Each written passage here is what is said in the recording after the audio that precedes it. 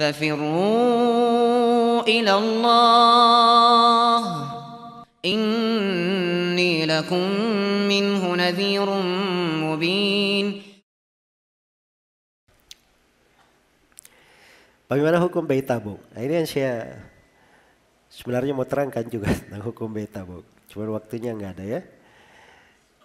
Bayi tabung itu ada tujuh atau delapan bentuk. Yang dibolehkan itu untuk bayi tabung itu terkait untuk sepasang suami istri saja.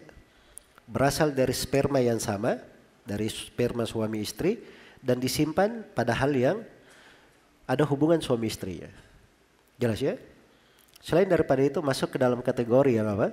Tidak diharamkan. Selain daripada itu ada ketentuan-ketentuan dalam proses dan apa namanya? Uh, dan sudut pembolehannya.